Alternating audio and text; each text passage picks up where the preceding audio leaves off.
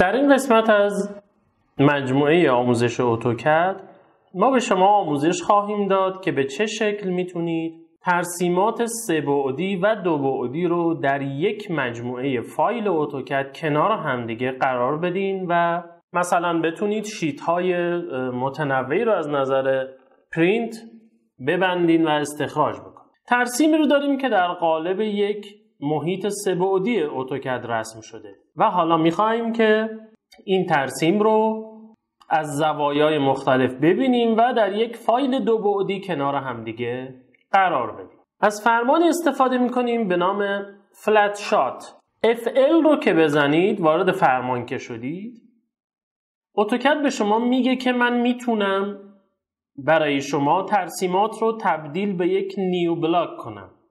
یعنی تبدیل به یک block می‌کنم. هر کدوم از زوایای دیدی رو که مد نظر شما هست. می‌تونه به صورت export تو فایل های جداگانه هر کدوم رو ذخیره بکنه. ولی ما خودمون می‌خوایم که اونا رو در یک فایل کنار هم دیگه داشته باشیم. نکته مهم در اینجا این گزینه obscured line هست. obscured line ببینید مربوط به خطوط مخفی یا خطوط پنهان هست.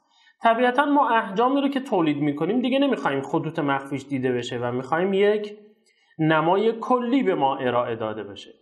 پس این تیک شو رو بردارید و از این زاویه اگر مد نظرتون این زاویه هست create کنید.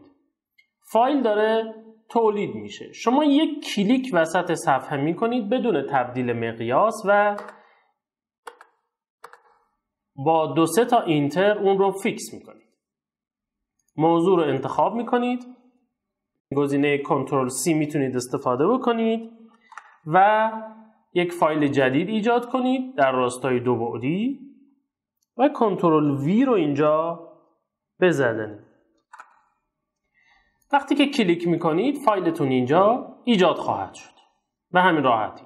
محیط ما دو بعدی هست و داریم تصاویر سه بعدی استخراج می‌کنیم. من زاویه دید رو تغییر میدم. میگم که حالا این بار گزینه تاپ رو داشته باشید دوباره فلت شات موضوع انتخاب خواهد شد و اینتر. انتخاب کنترل C به موضوع به فایل دو بعدی و این رو اینجا قرار میدم یک نما می‌گیرم. مثلا از زاویه فرونت دوباره فلت شات و کریت می‌زنم. موضوع که ایجاد شد و تثبیت شد شما انتخاب می‌کنید. کنترل C منتقل می‌کنید به فایل مورد نظرتون. اگر هیچ تبدیل مقیاسی نزنید و اجزا به همین شکلی من یک نمای دیگه می‌خوام بگیرم. مثلا میام از نمای لفت یا رایت استفاده می‌کنم. دوباره فلت شات رو می‌زنم. اون چیزی که در ترسیمات ما بهش میگیم سینما به این شکل تولید میشن. اگر ما تبدیل مقیاسی نزنیم و همه اندازه ها به یک مراتب منتقل شده باشن کافی شما اون جدول مختصات مربوط به سینماتون رو ایجاد بکنید.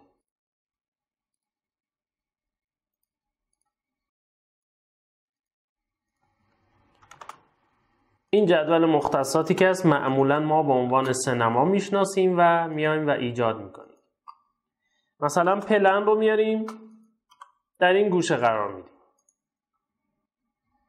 یکی از نماها رو در قسمت بالای پلن قرار میدم.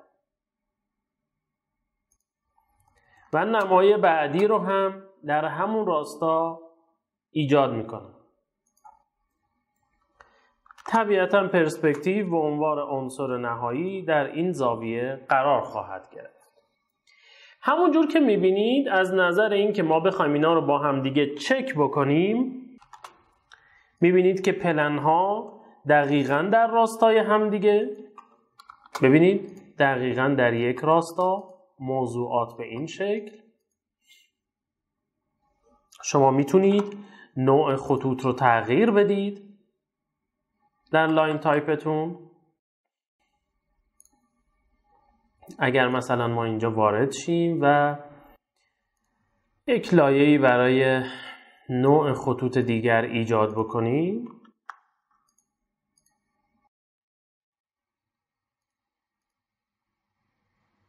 رنگش هم تغییر میدم که شما بهتر متوجه بشید.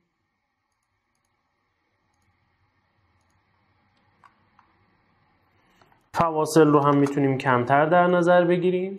همه نسبت به خط یه فاصله منظم داشته باشن.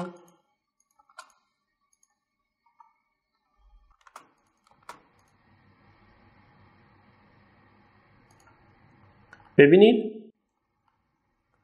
تمام خطوط در یک راستا قرار گرفتن. حتی خطوطی که ببینید الان به اینجا وجود داره.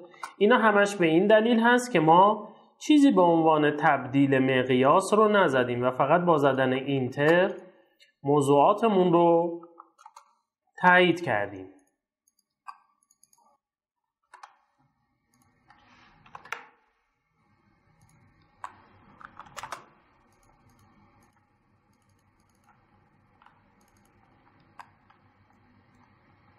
و در نهایت فایل پرسپکتیو ما که در این راستای محور مختصات مختصات فرمان سینما یا ابزار سینما برای درک و شکل بهتر اجسام قرار خواهد گرفت.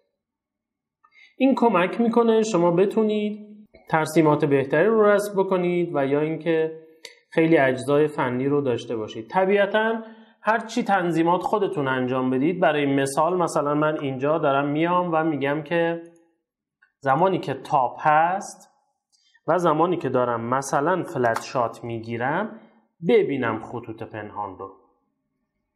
و حالا بزنید. ببینید همه خطوط رو براتون میارم.